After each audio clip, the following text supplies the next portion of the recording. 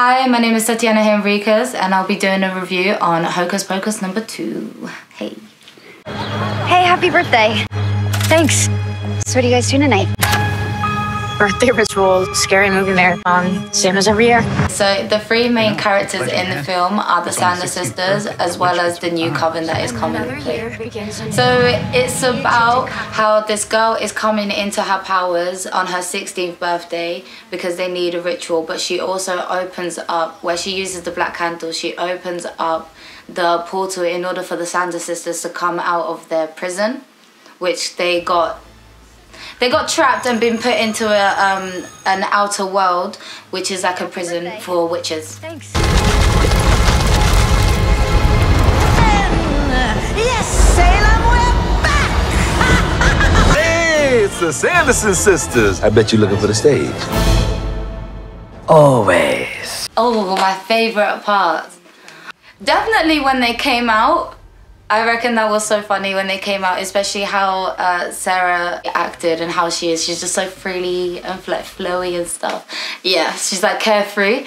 And my other favorite part would be when Becca comes into her powers and then she realizes that she has powers and everything. So I thought that was quite good because she's coming to know herself and I thought that was real cool. And um, at the beginning, when the children were, even though they were really young, and it's quite tragic that they tried to take her, take her sisters away from her, but it's how the story started. So I feel like that's the main important part, and I thought that was a good one. Oh, and the music. The music, how they lure people and they just come into play. Sarah's little witty, wittiness and stuff, I just love it. And then Winifred, yeah, her direction and sharpness, yeah, gotta love it. We should get some salt. Why? So we taste better when they eat us?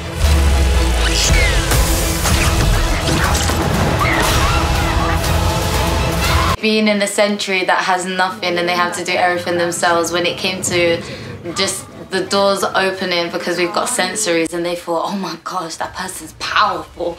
I am powerful too. And yeah, no, I thought that was funny. And then the broom part as well when she, when they all chose her, their mops to be their broom in order for them to fly. And she chose those two little hoovers kind of thing and they have like a mind on their own.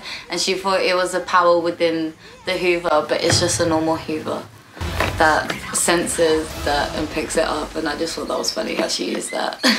well, wait, can we talk about this? No. we must fly!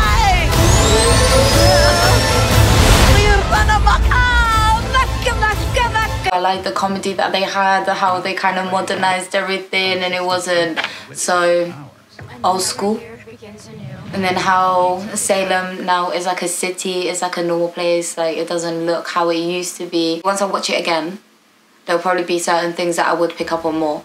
But from the first experience of watching it firsthand, I love it. So probably like 4.5 towards a 5, in my opinion. Yeah, so. And I'm a fan of films like this. So yeah, definitely for me, it's like 10 10. Thanks. That's not six feet under. Stop! I am a good zombie!